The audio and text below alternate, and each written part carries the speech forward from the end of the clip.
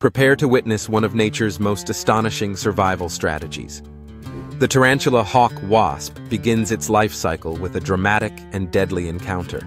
Armed with a powerful stinger that delivers one of the most painful and potent venoms known to science, the female wasp actively hunts for a tarantula. Upon locating its massive prey, the wasp strikes with precision, injecting venom that instantly paralyzes and immobilizes the spider without killing it. Instead of ending the tarantula's life, the wasp drags the still-living, paralyzed spider to a carefully prepared burrow.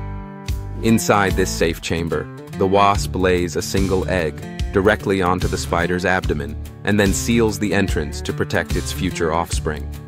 When the egg hatches, the emerging larva begins feeding on the tarantula's body, consuming it slowly and deliberately.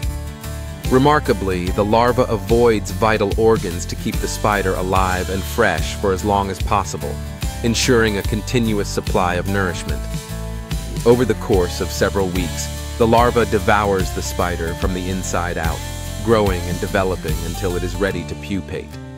Finally, the mature adult tarantula hawk wasp emerges from the burrow, leaving behind only the empty husk of its once mighty host, prepared to continue this ruthless life cycle anew.